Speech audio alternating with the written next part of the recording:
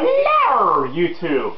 Welcome to Empire X's, or the EX Gaming community, depending on your sexual preference, our picks for best games of 2012.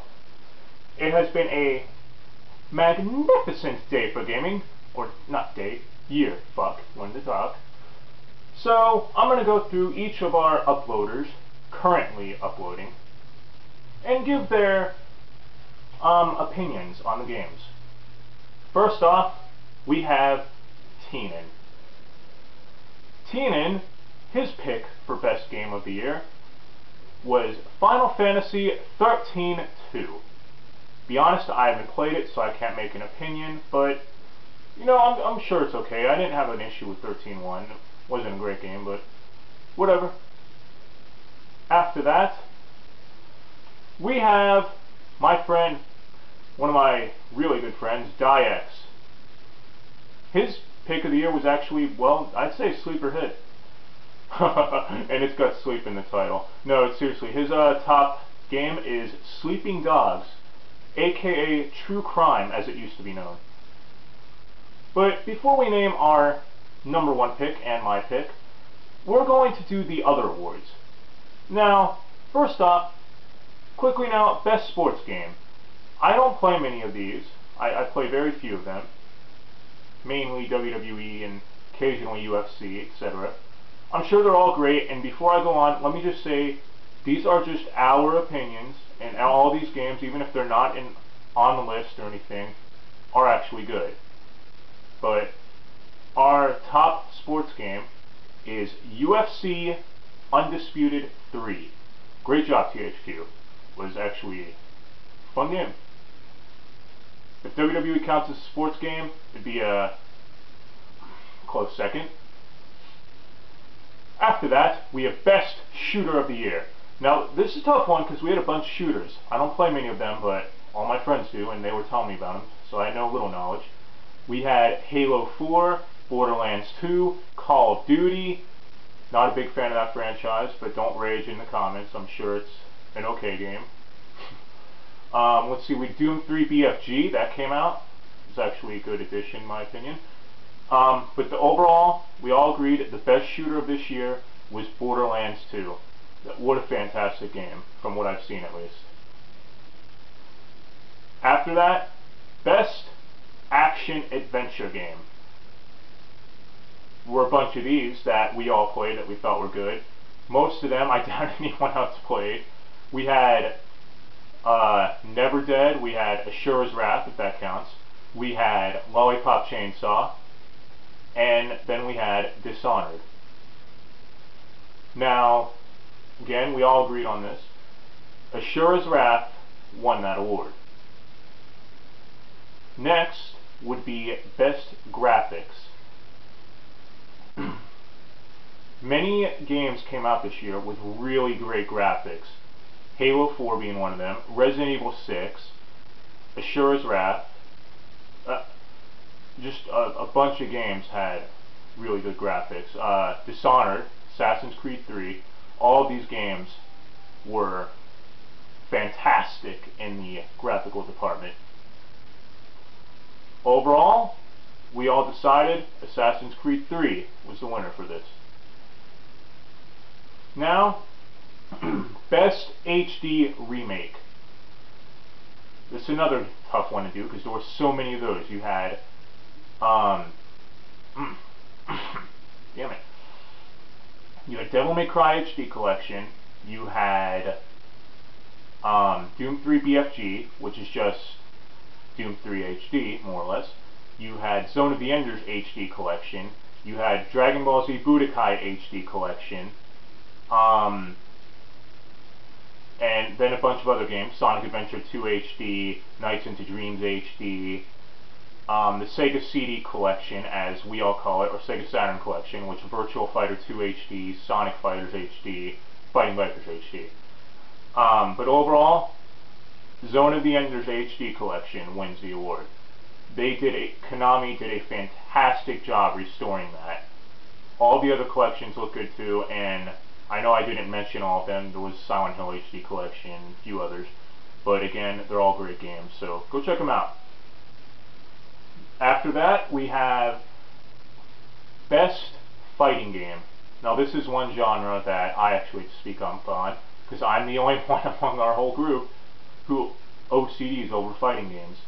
Just to name a few, we have Naruto Storm 3, or Generations. I used to think it was 3 until they fucked me in the ass with that one, and said, oh no, 3's coming out.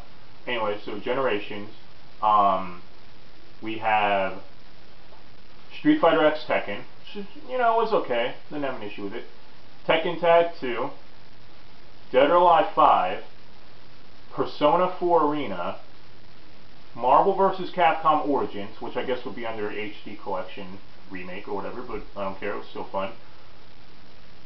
Um, DBZ HD Collection, even though it's just an old rendition, and WWE 13.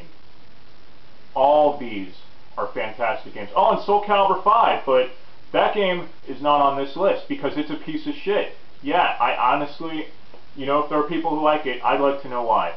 The game, the fighting in it's okay, but the game otherwise is a piece of shit. I don't care what anyone says. I'm sorry. I just had to put that out there. Biggest waste of money. It's even cheaper on Amazon right now than Soul Calibur 4. Says a lot. But overall, best fighting game, by far actually, is Persona 4 Arena. Atlus and Arc System Works did a fantastic, fantastic job with that game. Rumors going around that there's either going to be DLC or a Super Persona 4 Arena type thing. And I'm, I'd buy that shit. I bought all the other DLC that they had, even though it was optional. I, I just, I really love that game. Now, most anticipated game of next year. This is like what we're all waiting for. Dai's pick for this was GTA 5.